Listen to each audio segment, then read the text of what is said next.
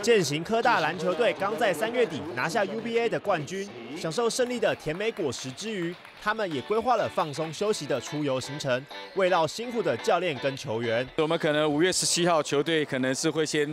呃，去放松一下，去慰劳他们，就是呃带他们做这个，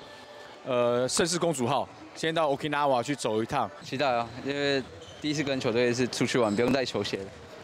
不会不会，他已经他已经答应我们说不会带球鞋。我们我们不会带。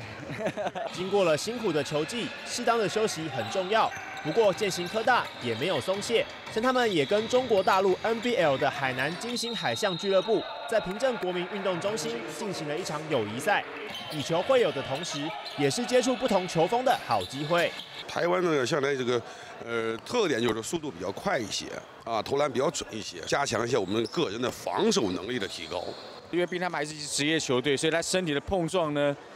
跟一些卡位的落实，所以我想这个是我们在这次交流践行科大可以跟他们学习的地方。除了这次跟中国大陆的职业球队交手，践行科大在接下来也会参加佛光杯国际大学篮球邀请赛，并计划前往澳洲进行异地训练。透过比赛跟不同的篮球文化的刺激，期待让球员们的技术跟见识都能更上层楼。